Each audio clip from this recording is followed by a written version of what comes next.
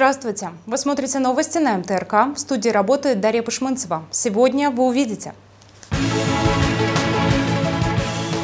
В Северном Казахстане на должность первого заместителя председателя регионального филиала партии «Нуратан» назначен Евгений Глотов. Какие поручения ему дал Кумар Аксакалов? 38 улиц и 48 скверов привели в порядок петропавловцы. Тысяча горожан приняла участие в акции «Чистый четверг». Она продлится три месяца. Юные бизнесмены. В Петропавловске более 500 школьников обучились азам предпринимательства на курсах в региональной палате предпринимателей «Атамикен». Контролировать проводимые в регионе работы, следить за освоением бюджетных средств. Такие поручения Кумар Аксакалов дал нуратановцам. В частности, новому первому заместителю председателя регионального филиала партии Евгению Глодову. Последние два с половиной года он работал заместителем Акима Петропавловска по социальным вопросам.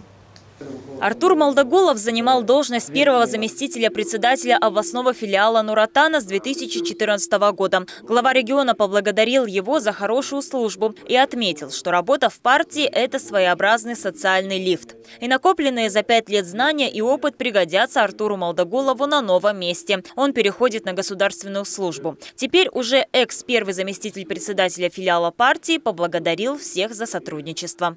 Я знаю, что наш филиал готов исполнение тех поручений главы государства, ваших поручений, тех наказов, которые были даны лидерам партии, Нурсултану Ильичу Назарбаеву на 18-м съезде партии. Все, что мы сделаем, все это мы выполним. Его кресло занял 31-летний Евгений Глотов, выпускник Евразийского национального университета. По программе «Балашак» учился в Великобритании. Карьеру начал в 2006 году менеджером проектов Конгресса молодежи Казахстана. Также работал в аппарате главы региона, руководил областным управлением предпринимательства и туризма. А последние два с половиной года был заместителем Акима Петропавловска по социальным вопросам. Для меня большая честь работать в партии, которую возглавляет наш Ельбасы. Я использую все свои навыки, опыт и знания на новой работе. Сделаю все, чтобы оправдать возложенные на меня обязанности. А самое главное, я буду работать честно на благо общества и процветания страны. Работать предстоит немало. Сейчас перед Нуратаном ответственная задача. 23 апреля в столице пройдет съезд, где партийцы определят своего кандидата в президенты. Немало работы у нуратановцев и в нашей области. Кумар Аксакалов поручил тщательнее контролировать проводимые в регионе работы. А, конечно же, члены партии должны быть в первых рядах, когда должны фиксироваться и контролироваться все работы, которые проводятся, чтобы исключить э, некачественную работу. Либо значит, сразу показать, что здесь идет некачественная работа и заставлять э, всех подрядчиков переделать под руководством нашей ведущей политической организации. А еще партийцы должны следить за освоением бюджетных средств. Как ремонтируют дороги, строят жилье, реализуют госпрограммы. В этом году увеличатся расходы на помощь многодетным семьям. Из госказны нашему региону выделят 375 миллионов тенге. Ежемесячная выплата на каждого ребенка повысится в 6 раз. С 3 до почти 21 тысячи тенге. Помогут многодетным и с жильем. В очереди сейчас стоят 342 семьи. Только в этом году мы 93 семьям помогаем, решаем этот вопрос. И мы надеемся, что в течение э, ближайших двух-двух с половиной лет значит, этот вопрос решится полностью. Что касается вот увеличения заработной платы. Вот с 1 июня на 30% увеличение заработной платы коснется 30, 20 тысячам низкооплачиваемых работников бюджетной сферы. Не оставят без внимания и работников образования. Зарплату 14 тысяч психологов, методистов и воспитателей увеличат до 30%. А еще укрепят материально-техническую базу 10 колледжей. Последний раз средства на эти цели выделяли 5 лет назад и всего 300 миллионов тенге. А теперь свыше 350 миллионов на каждый колледж. Сферу здравоохранения тоже ждут большие перемены. Увеличивается финансирование первичного звена значит, э, с 40 до 60 процентов. То есть, если на примере нашей области говорить, то это с 8 до 10 миллиардов тенге. Мы откроем три амбулатории лечебные в новых микрорайонах нашей, нашего города. Это Жасуркен, это Береке и Подгора. Прорабатывается вопрос а, управления здравоохранения с акиматами районов о том, чтобы построить в рамках государственно-частного партнерства до 20 амбулаторий на селе. А еще 12 тысячам медработникам увеличат зарплату. Санитаркам с 48 до 64 тысяч тенге. Медсестрам с 76 до 100 тысяч. Айгири Мукашева, Жолдозбек Ермуканов. Новости МТРК. К другим темам. Первая волна паводка прошла. На Сергеевском водохранилище за сутки уровень опустился на 7 сантиметров. По данным гидрологов, в 4 часа дня он составлял 925, а перелив 125 сантиметров. Пик был зафиксирован в среду на отметке 132. В Селеново-Никольском Козлжарского района за сутки вода в реке поднялась на 65 сантиметров. В Покровке на 82. За, за Петропавловской плотиной уровень воды упал на 46 сантиметров. По прогнозам спасателей, вторая волна паводка придет в регион уже на следующей неделе.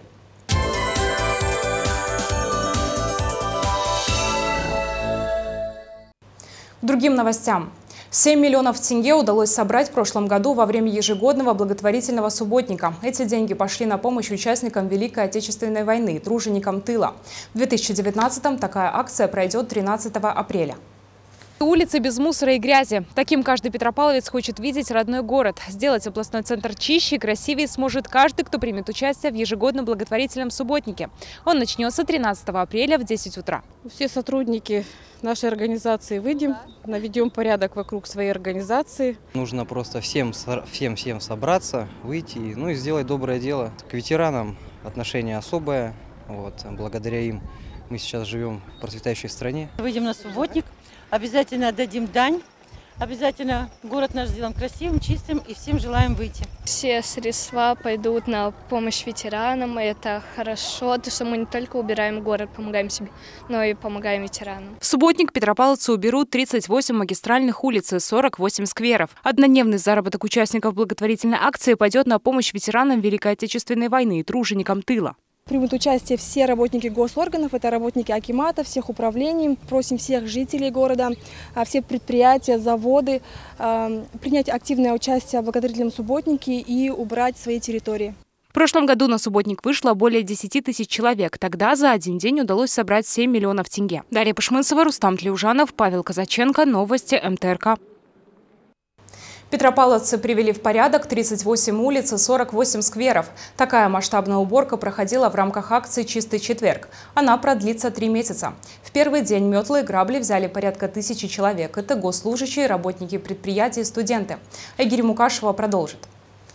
Старый парк горожане любят. Это место, где можно отдохнуть в тени деревьев или наоборот, погреться под теплыми лучами солнца. А спортивная и детская площадки никогда не пустуют. Но вот после зимы здесь много мусора и старой листвы. И акцию «Чистый четверг» начали именно с очистки парка. Его приводили в порядок госслужащие и студенты. Максим Непомнящий учится в железнодорожном колледже, занимается армрестлингом, поэтому легко орудует граблями. Кстати, эти инструменты они изготовили своими руками. Изготовили эти грабли на практике своими руками. Принимаем активное участие в очистке города. Все, что сделано своими руками, нам удобно ими работать. Благоустройством этого сектора занимаются госслужащие. Многие из них гуляют в парке с детьми, поэтому с пониманием и охотой вышли убирать прошлогодний мусор. Целый день мы сидим в кабинете, в, в учреждениях. А сегодня просто выйти воздухом подышать, немножко поработать. Я думаю, что это и для здоровья она полезна, и, и для блага, и для нашего города. Акция «Чистый четверг» продлится три месяца и будет проходить еженедельно. В первый день на благоустройстве областного центра работали больше тысячи петропавловцев. Они очистили от мусора 38 улиц и 48 скверов. Айгири Мукашева, Жолдозбек Ермуканов. Новости МТРК. 3400 новых деревьев высадят в Петропавловске в этом году. На улицах областного центра появятся рябины, березы, сосны, пирамидальные тополя, сирень и другие деревья. В прошлом году город украсили 2600 саженцев, но не везде они прижились. Почему, расскажет Айгири Мукашева. Березы и клены вместо старых тополей. В конце апреля Петропавловск вновь начнут озеленять. По улице Нурсултана Назарбаева в прошлом году вырубили старые тополя. Открылся вид на многоэтажки. Здесь высадили сосны и живую изгородь. Сейчас эта улица одна из самых красивых в городе. Я здесь похожу постоянно, в день несколько раз. Ну, как, конечно, мне нравится, красиво, но мне очень жалко старые деревья. От них была такая тень хорошая. Вы знаете, вначале мы, конечно, были возмущены, были против, но сейчас, глядя вот на эту красоту, довольны. Но прижились зеленые красавицы не везде. По улице Кизатова саженцы стоят в слое пыли. Маленькие сосны высадили близко к дороге. Сейчас они далеко не украшение города. И такая картина не только в этом микрорайоне. Зимой и летом одним цветом. Загадка не про эти сосны. На участке по улице Уалиханова хвойные желтые, местами даже серые, но далеко не зеленые. Кстати, в прошлом году 15% высаженных деревьев не прижилось. Почти все погибшие саженцы хвойные. Некоторые деревья потеряли не только цвет, но и иголки, а где-то даже ветви. Сейчас голые стволы хвойных, кроме жалости, иных чувств не вызывают. Работники коммунхоза дважды в неделю их поливают, еженедельно вносят удобрения. Но почему же тогда саженцы гибнут? По словам работников ЖКХ, 85% прошлогодних деревьев прижились. Такие потери допустимы, говорят специалисты. На их месте высадят новые. В этом году будет посажено 3400 деревьев э, и более 6000 погонных метров э, живой изгороди. Если сравнивать с прошлым годом, в прошлом году у нас было посажено 2600 э, деревьев. Посадочный материал берется с лесопитомников ТО Ерагра и Кондратовский, также с дачных массивов вблизи города и поселка Тепличное. Высадят рябину, сирень, сосну, березу и клен, а еще пирамидальный тополь. От него нет пуха. Также появится свыше 6 тысяч метров живой изгороди. Город украсит белый дерен, ирга и дичка. Айгири Мукашева, Рустам Тлюжанов, Адиль Нуржанов. Новости МТРК.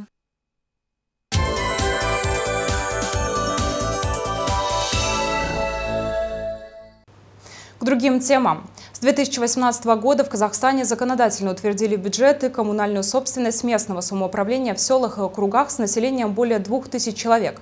Кто и как может принимать участие в его распределении, сегодня рассказали на семинаре. Он прошел в селе Бесколь Кызылжарского района. Побывала там и наша съемочная группа. Не верят, не знают, не понимают. Население сельских округов слабо участвует в местном самоуправлении. Специально для них разработали новый проект, в котором практически помогают в планировании бюджета сельского округа. Тем самым они могут повлиять на принимаемые Акимом решения. Такую поддержку Институт развития самоуправления предлагает нескольким населенным пунктам. С ними заключат меморандумы о сотрудничестве. Действующим законом предусмотрено э, значит, взаимодействие Акима с местным сообществом, э, обсуждение проблем, учет мнения, собрание местного сообщества. Но люди не знают своих прав. Часто они не верят, что их услышат. И им нужен именно позитивный опыт – увидеть, что это действительно возможно. С этим мнением согласна и Аким Архангельского сельского округа Ирина Рыбакова. Например, детской игровой площадки в селе Новокаменке нет давно. Это единственные на всю деревню качели и те на участке рядом с мини-центром. Недавно сельский Акимат разработал проект спортивной площадки, но пока средств на ее строительство нет. Надеются на помощь предпринимателей. Я думаю, что люди должны быть сами заинтересованы в проведении вот этих субботников, проведении благоустройства. То есть не ждать того, что сделают крестьяне, сделают делают, допустим, придет Акимат, то есть мы должны действовать вот именно сообща. Если мы будем сообща что-то делать, то я думаю, что у нас все получится. Бюджет Архангельского сельского округа чуть больше 17 миллионов. В этом году, с учетом мнения населения, средства из него планируют потратить на ремонт дорог в селах. Там проживают около двух тысяч человек. Алена Хан, Рустам Тлеужанов, Новости МТРК. Толком ничего не купила, заплатил много. С такой мыслью мы часто приходим домой после похода на базар или в супермаркет. Даже если пошли за хлебом молоком, отдали несколько тысяч тенге. Почему растут цены на социально значимые продукты питания и как их удержать, обсудили члены городского общественного совета. С начала года в Петропавловске выросли цены на 7 видов социально значимых продуктов питания. Ровно столько же не изменилось с декабря 2018 -го. Больше всего подорожала капуста на 56 тенге, творог на 29, рис на 19. Некоторые продукты в этом году, наоборот, стали дешевле. Это рожки на 1,9%, масло подсолнечное на 1%, картофель на 2,9%, сахар – 0,9%. По семи наименованиям цены остались на уровне. Это хлеб из муки первого сорта, крупа гречневая, говядина, яйцо куриное, масло сливочное, морковь, соль. Увеличение объема производства, развитие торговой инфраструктуры, меморандум о взаимном сотрудничестве с 54 торговыми предприятиями города. Все это должно помогать сдерживать цены. Но в разных магазинах и торговых домах они могут отличаться, подчеркнули члены общественного совета. Это рыночная экономика. Десяток яиц на рынке Алтын-Арман стоит от 180 до 200 тенге, а на тайге на сотню дороже. Там четыре предприятия стоят. Они только торгуют одним видом. Это яйцо. Естественно, мы взяли объем, который не реализуют. Что действительно, держать такую цену они не смогут при тех накрутках, которые им надо за торговое место платить, как и платить все на сети. Там есть точка стабилизационного фонда, где реализуется это же яйцо по цене 175-185 тенге. На рынках также есть 175-185 тенге. Они по меморандуму у нас не проходят. А по мнению члена городского общественного совета Александра Казанцева, цены на продукты питания в областном центре могут начать стремительно расти. Это произойдет из-за отмены дифференцированного тарифа на электроэнергию по зонам суток. Мукомольные, молочные, хлебобулочные, значит, птицефабрики, они все энергоемкие. И когда они перестроились на работу в ночное время, тариф в 4 раза был ниже, чем сегодня. В 4 раза. Они имели хорошую себестоимость, они имели прибыль что значит с учетом отмены э, этой э, нормы и повышения тарифов в 4 раза, соответственно, это э, отразилось на их затратах и финансовом результате этих предприятий. Как в конечном итоге это повлияет на цены? Конечно, на рост цены. Цены могут вырасти к 1 июня, когда бюджетникам увеличат заработную плату, считают члены общественного совета. К этому вопросу они вернутся в августе. Дарья Пашмынцева, Павел Казаченко, Жулдасбек Ермуканов. Новости МТРК.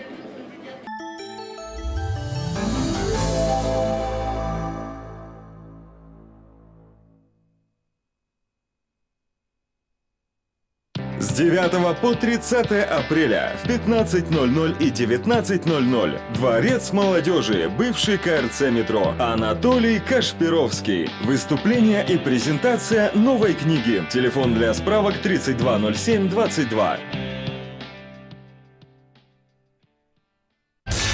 Хотите заявить о себе или своем бизнесе? Разместите свою рекламу в новостях на муниципальном телерадиоканале. Мы работаем в эфире 20 лет. Нас смотрят, нам доверяют, нас выбирают. Приемы гастроэнтеролога, венеродерматолога, аллерголога. Центр семейной медицины «Панацея». Телефон 501 505. Центр развития речи Елены Петровой представляет новое направление коррекционной работы. Метод Томатис основан на стимуляции участков мозга, участвующих в расшифровке и анализе звуковых сигналов. Используется для стимуляции речи, повышения обучаемости, улучшения памяти и внимания, интеграции в иностранные языки. На сегодняшний день этот метод активно применяется в 20 странах мира. Адрес Горького 172, бывшая гостиница «Восход», телефон 46 08 73.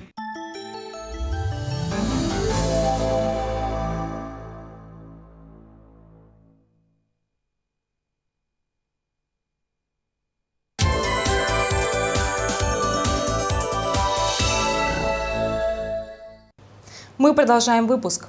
Бизнес с нуля. Около 30 петропавловских школьников завершают курсы молодых предпринимателей. Старшеклассников обучали командной работе, управлению финансами и помогали составить свой первый стартап-проект. Занятия проходили в форме игр, квестов, групповых встреч, групповых дискуссий, встреч с успешными предпринимателями. С юными бизнесменами познакомилась моя коллега Татьяна Исельская.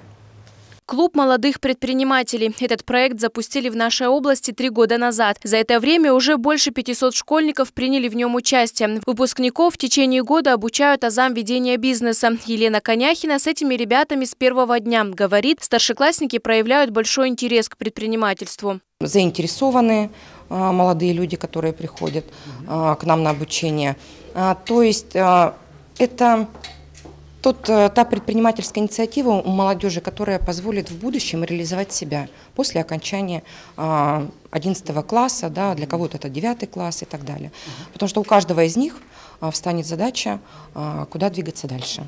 Деловые игры, анализ рынка труда и защита собственных проектов. В прошлом году на первое занятие пришли около 200 ребят. Сейчас остались только 26. Старшеклассники, которые завершают курс, уже применяют полученные знания на практике. Дарья Храпова, к примеру, начала заниматься организацией праздников. Люблю праздники. Организовывать их и вести. Почему нет? Попробовать хочется. Больше всего понравилось, наверное, это Первое занятие было, мы на этом занятии играли, это была бизнес-игра. мы очень все увлеклись, и Вначале, конечно, было как-то неловко, было много людей из разных школ, разных возрастов, но потом все, все раскрепостились, было весело, интересно, познавательно. С ребятами работали профессиональные менторы. Это опытные бизнесмены. Кстати, абсолютно бесплатно. Они делились своей историей успеха. Такой хочет стать Дамижан Миржан. Девушка мечтает открыть агентство для подготовки журналистов. Мы учились на живом примере. То есть, э, и это не было скучной лекцией. Мы учились с помощью игр, э, проходили что-то новое, изучали. То есть для нас это было, большим опытом. Это занятие у ребят последнее. После его завершения школьники получат сертификаты. В планах Палаты предпринимателей интегрировать бизнес-основы в школьную программу как отдельный предмет. Если это не получится, в сентябре начнут новый набор старшеклассников. Татьяна Исельская, Дельнуржанов, Новости МТРК. 12 апреля исполнится два года, как в свет вышла программная статья Ельбасы «Взгляд в будущее. Модернизация общественного сознания», больше известная как Рухани Жангару. Ее главная идея в том, чтобы, двигаясь по пути экономического развития, не потерять свой национальный код. Для этого первый президент определил шесть основных направлений. Какая работа проводится в Северном Казахстане? Итоги двух лет подвели в школе-комплексе национального возрождения номер 17.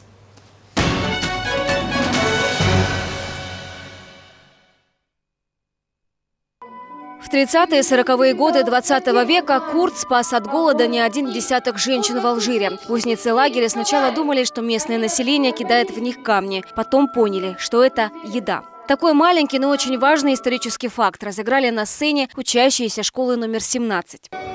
көмектепесе болмайды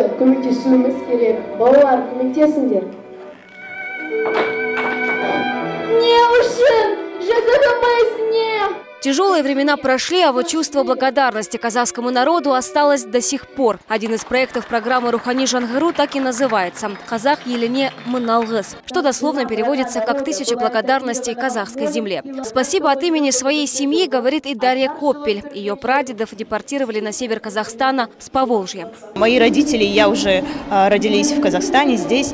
Я считаю Казахстан своей родиной, и мне кажется очень важным, что в нашей школе есть возможность изучать различные национальные национальные языки. Последние пять лет я посещаю немецкое отделение и также состою в немецком центре в ассамблее в нашей Видергебурте. Идеи Рухани Жангаро в этой школе активно продвигали еще до публикации программной статьи. Больше 20 лет здесь создают условия для того, чтобы дети могли изучать родную культуру и сохранить свой национальный код. В нашей школе э, значит, изучает 9 э, отделений свои родные языки. В нашей школе обучаются дети более 22 представителей разных этносов и национальностей. И наша школа является на сегодня уникальной школы. А мы, учителя, которые ведем и несем с собой программу нашего государства, конечно, воспитывать должны наших учащихся в духе толерантности, духе казахстанского патриотизма. 12 апреля программной статье Нурсултана Назарбаева исполняется два года. Реализация идеи Рухани Жангару проходит по шести направлениям. Первое – конкурентоспособность. Если наши дети не будут сегодня конкурентоспособны в стенах школы,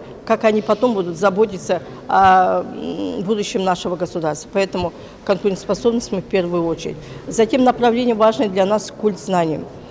А, издавна известно, что казахский народ всегда хотел учиться. Поэтому, а на сегодняшний день это тем более востребовано. Рухани Жангару – это своего рода назидание. Также в статье первый президент призывает казахстанцев стремиться к открытости сознания и развивать в себе деловой прагматизм. Жансулу Тастемирова, Адель Нуржанов, Новости, МТРК.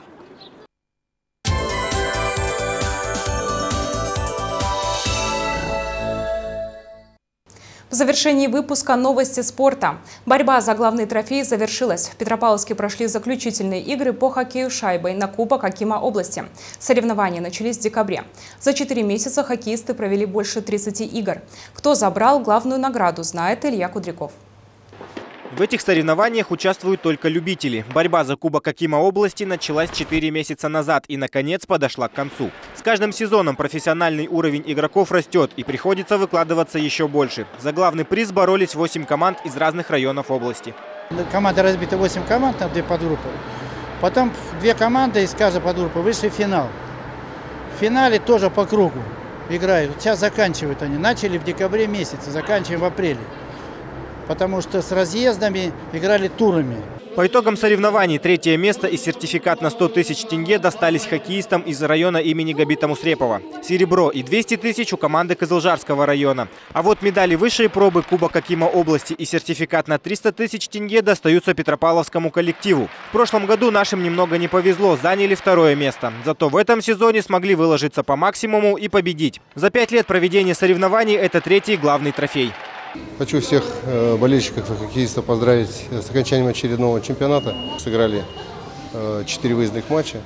Во всех матчах победили. Хочу ребят своих поздравить. Ну, две игры было сложные с, э, с Козложарским районом и Габитом Усреповым. Судьи и тренеры по итогам встреч выбирали самых лучших игроков. Именно они будут защищать честь Северного Казахстана на международных соревнованиях Кокшетау. Там сборная нашей области встретится с командами из других регионов Казахстана и России. Чемпионат стартует в начале мая. Илья Кудряков, Рустам Тлеужанов, Новости МТРК. Свыше полутора тысяч ребят в нашей области занимаются карате. Североказахстанская школа считается одной из лучших и сильнейших в стране. Наши каратисты часто становятся победителями и призерами международных первенств. Их нередко приглашают на чемпионаты в регионы Казахстана и России. В начале апреля порядка 100 спортсменов показали свое мастерство в Омске. С каким результатом они вернулись, расскажет Игорь Мукашева. Okay, Тренировка начинается вот с таких поклонов. Это воспитанники и наставник выражают благодарность и уважение. Ведь тренируют здесь не только тело, но и дух. Кстати, кёкушинкай – очень сложный вид карате, а североказахстанская школа – одна из самых лучших в стране. В этом году ей исполняется 18 лет. Обменяться опытом с нашими каратистами хотят многие. Другие регионы часто приглашают наших бойцов на чемпионаты. 7 апреля проходил чемпионат э, в городе Омска. Этот чемпионат э, называется «Татами дружбы». Именно э, участвовал именно Омск, Российская Федерация и мы, Северокостанская область. Честь нашего региона защищали 100 мальчишек и девчонок от 4 до 15 лет. Тимофей Волков завоевал золотую медаль в своей весовой категории. В Омске выиграл все три боя с помощью особой комбинации приемов. Но каких, не рассказывает. Говорит, это его секрет. На карате шестилетний Тимофей пришел 4 месяца назад. Раньше я дрался э, во дворе. Теперь я дерусь на карате. Мне лучше драться на карате. Мне больше всего нравится то, что мы деремся, делаем спарринги и тренируемся. Красавица, отличница, еще и спортсменка. Восьмилетняя Мадина Сикибаева преуспела везде. В карате она больше года и уже завоевала награды нескольких крупных чемпионатов. Из Омска Мадина привезла золотую медаль. Девочки, как и мальчики, хорошо дерутся. Мой любимый прием – это майгери в живот. Я бью майгери ногой э, в живот, и соперница э, прям улетает за татами. Я победила так в Омске и в Петропавловске.